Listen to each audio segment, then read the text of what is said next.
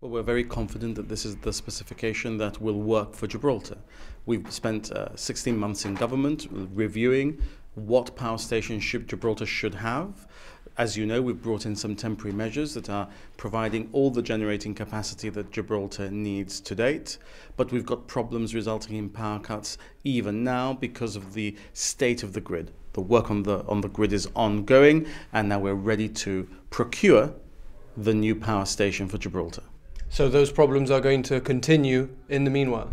Well, those problems are going to continue whilst the grid is not dealt with and the work on the grid is ongoing. We started that work as soon as we were advised that this work was required, but it's no longer that there isn't the generating capacity. That was one of the problems that the previous administration was experiencing. You knew that they bought some uh, skid generators, one megawatt skid generators, and rented some others. Those have now not uh, been relied on by, for some time by the uh, Gibraltar Electricity Authority because we've got the turbines at North Mole presently running on diesel, but hopefully soon perhaps running on gas. Do you feel this is the most environmental option? It is the most environmentally friendly option of the options that involve burning uh, fossil fuels burning hydrocarbons. And unfortunately, um, Gibraltar has to operate as an electricity island. We can't rely on the Spanish grid. We wouldn't want to because of the obvious political implications that might have. And we have to have what is presently the most reliable source of electricity, and that involves burning hydrocarbons. In the context of where we're going with renewable energy, I think you'll also see that we're going to introduce a lot of renewable energy options into our grid, but I don't think we'll be able to have 100% of our energy reliably reliably produce from renewable energy. Not for now, at least. So, in that context, we have to have a reliable source of electricity, and the most environmentally friendly way of doing that, we believe, is with gas. 80 megawatts, how far into the future have you planned and what sort of growth has your government predicted? We're looking really at the next uh, 30 years and being able to have generating capacity not just for now, but for the next 30 years, for the growth that we expect we'll see in Gibraltar, and for the type of electrical demand that we may see. Look, it, it is also possible that as technology advances, one of the things that the technology will do is to affect the demand side. So you've seen how light bulbs are changing now. The bulbs we use today uh, drag less on the uh, demand on the grid. That may have an effect in what capacity we need in the future. But at the same time, as the world goes um, online onto the cloud, data centers become very important and data centers are very electricity hungry. So we've got to make sure that we have the capacity, not just that we might need this year and next year, but the capacity we're going to need for the next 30 years. Some would argue that a reliance on fossil fuels isn't in keeping with your government's stated environmental goals. Uh, burning gas in the way that we expect to be able to burn it may be a very environmentally friendly option. It may be economically much cheaper than burning diesel, looking at the way that uh, prices have behaved until now. And the emissions from a gas fueled power station can be almost zero with the type of technology that we're looking at applying. We wouldn't be looking to introduce a, a power station that burnt a fuel that could create a noxious emission. And I think that we can deal with all of those issues very effectively by the methods that we're looking to introduce. In the past 12 months, we've seen some issues with uh, supply to the UK. Do you share those concerns? We don't currently rely on gas supplies. We don't currently rely on gas supplies. We rely on, on oil supplies, on, on diesel supplies.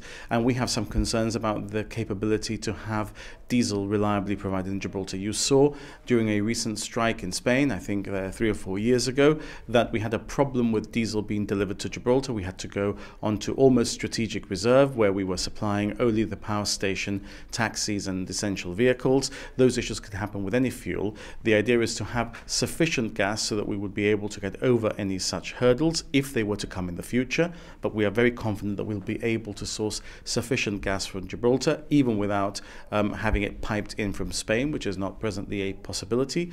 But I, I think even uh, more than that, the important thing about what we're going to procure in terms of generating capacity is the uh, aspect of dual fired engines. There'll be some engines that might also be fired on diesel if necessary, if we didn't have sufficient uh, gas or any gas at all. That's an important element of what we are proposing to do, so that we are doing a belt and braces job on this issue. You talk of very low emissions, but is this a better site than Windmill Hill? It's much closer to residential areas. Well, it's a better site because of the type of generating capacity that we're looking at installing.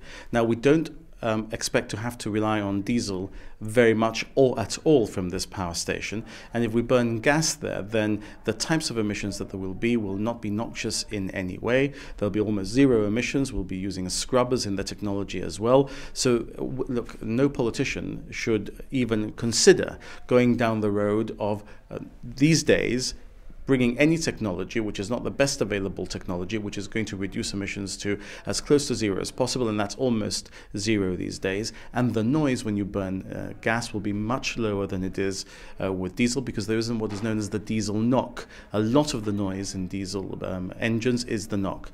The other issue, of course, is the issues the the equipment that you put around the power station actually to to cool the power station because this power station is going to be next to the sea. There could be other solutions found there. I believe that people who live in the area will find that a modern power station of the sort that we're looking at can be guaranteed to create absolutely no dangerous emissions whatsoever and have no, no, no noise polluting effects whatsoever. And that is what we're looking for in this tender. And if it were not possible because we don't get the responses that we expect under the tender, then it wouldn't happen in that context. But we're very confident, having done the research that we have, that this will be imminently possible. Do you foresee any problems with Spain in respect of the reclamation? I don't foresee any problems whatsoever with Spain uh, in respect of the reclamation, other than the usual ones. I assume that there will be the usual cursory complaint. But as you've seen in respect of the East Side reclamation, the European Parliament has considered that Gibraltar has acted properly in the way that we've handled that reclamation in our waters, and that the cross-boundary effects of those uh, uh, projects is taken into consideration in the appropriate way. It's not a large reclamation. It's really just ending the kink at the corner of the North Mole reclamation. On a separate subject, in London today, some very reassuring words from the Queen.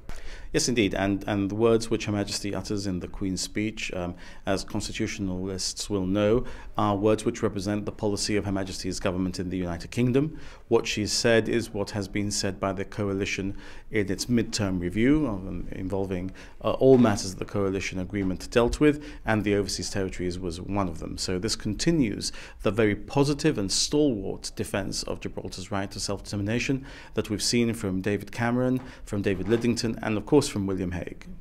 In Madrid yesterday, you met with Spanish journalists. Your government, of course, has a contract with a public relations company in Madrid. Yet we still hear Spanish government officials referring to the Rock as a tax haven. How difficult is this fight? Well, it's not difficult. You just have to be on the front foot. You have to constantly be there to counter what it is that they are saying, which is wrong. And you have to go not just armed with arguments, you have to go armed with facts. And this is what we've done in Madrid. And I think we've, we've done a good job of getting the argument across for Gibraltar. We've had coverage for what the Gibraltar government's position is and for the facts behind that position in some of the right wing press as well as in some of the more neutral press. I think Gibraltar has an obligation uh, to continue to put those arguments so that our reputation is not traduced by people who are not relying on facts to do so. And finally, what of the leader of the opposition's criticism that you seem to be briefing everybody except him? You did change a motion in Parliament based on the premise that you are going to brief him on vital issues such as the UK's proposed in out EU referendum. I changed a motion in Parliament to brief him on that issue, not on any other, and I will be doing so. Um, as you have seen, I've been quite busy, and unfortunately, we've had a, a difficult period in the last month involving a minister. Um, and I'm very surprised that Daniel Feetham, if he felt that I hadn't yet got in touch with him for that uh, for that briefing in respect of EU matters, and he so desired it, didn't try to reach me directly through my office um, in order to ask that we set a date. Uh, it is peculiar, and when when people issue public statements about private meetings, one uh, seems to, uh, one might be forgiven for thinking that they're more interested in the publicity than they are in the briefing. Despite that, you know, I forgive him uh, entirely for having made that a rookie mistake, and I'm quite happy to be in touch with him shortly as soon as I have uh, the relevant officials who will be involved in assisting me in briefing him um, in Gibraltar to um, ensure that we can go ahead and have uh, such a briefing. But, but let me be clear, there's something else I've said, which is that I want to create a Privy Council style um, approach to information so that people across the political divide can have relevant information on issues which are important nationally. I've said I'm going to create that status, I am going to do so, and it's going to go well beyond this European Union issue. Uh, Daniel Feetham has not commented on that other than to say in an interview with another uh, television channel and uh, with the Chronicle now, uh, in a press release, I understand, that I haven't yet gone in contact with him to do so. Well, look, it's my initiative. Um, I'm very keen to deploy it. It's not something that we've seen in Gibraltar before. It's not something that he, as Minister for Justice, or the government of which he was a member before, even might have considered. Mr. Caruana was actually, and the GSD were actually quite different in their approach in government. They would never want the opposition and briefed even by third parties or private entities who were dealing with the government about any particular project. So I'm delighted that my government is going to be innovative and it's going to be thinking about Gibraltar first in taking this approach. This is my approach to how Gibraltar should be governed, and I'll soon be in touch with him. He need not fret.